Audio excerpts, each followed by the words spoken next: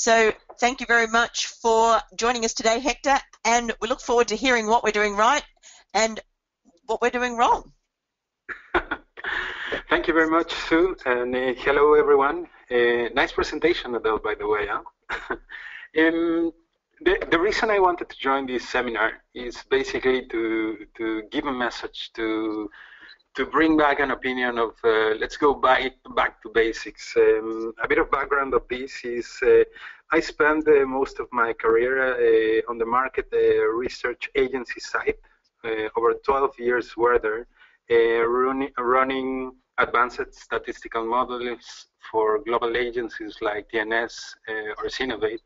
And then I moved uh, to Etihad to the client side, then realized one uh, some of the things we are doing right or wrong as an industry, and and uh, I, I, guess it's uh, fair enough to share with you what I see um, uh, right and wrong on the way we approach usually to the clients. So I want to start by telling you who we are.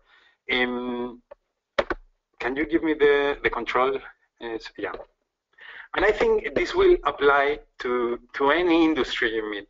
For us, um, I, I, will talk about the, our passion, the, the, the airplanes, right? We are not just an airplane ticket industry. We are a strategic industry that, uh, that is key for, for the development of any country. Behind of, uh, of uh, the industry we're on, there are a lot of innovation, people trying to build the future, crazy ideas, crazy airplanes. Uh, we, we have behind thousands of people looking at how you sleep, how you rest, what you watch, what you want to listen, uh, how you care about your family, what do you like when you go on business trip.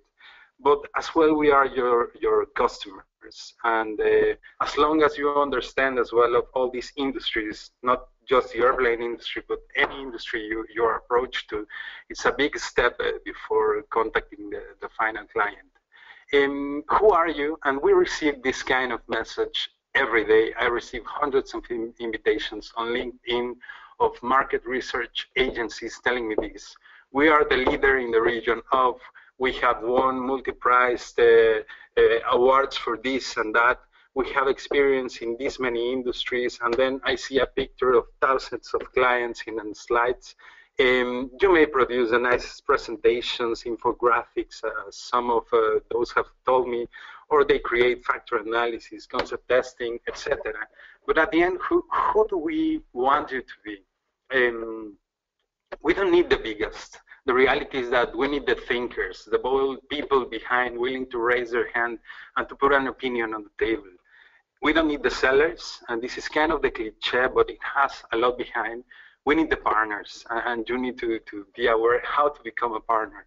We don't need the neuromarketing, whatever, blah, blah, blah, blah a, a fancy model or tool, but we need this. We need people who can make our complex world simple. Remember as well one thing that I, I've experienced a lot when I was in the agency. 80% of the clients you go and talk to the reality is that they have very poor knowledge about what uh, what real research is all about. Um, what we expect as well, uh, and we want you you always want to avoid in this side of the client uh, is uh, when you receive an RFP, uh, you will uh, have no doubts or you will clarify it. And the worst thing you can do is you're calling one hour before the deadline to ask for more time.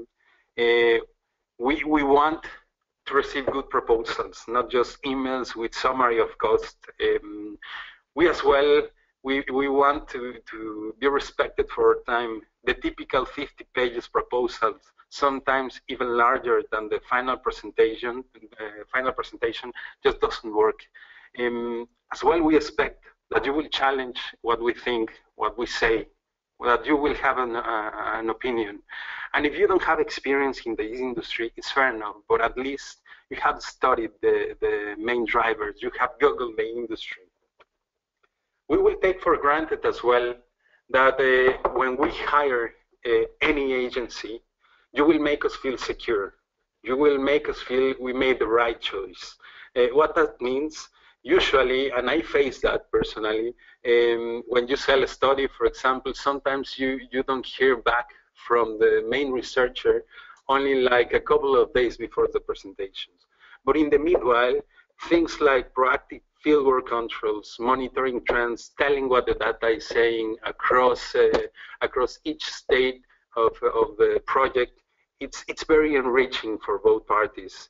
Uh, you will use as well your expertise to help us uh, and to guide us through the research, making the correct weightings, segment definitions, etc. But most important, you will have to, to, teach us something we don't know. Um, I think this was basically the message I wanted to, to share with you. Um, and, and, hope it, helps on how you approach the client uh, in your in your future talks.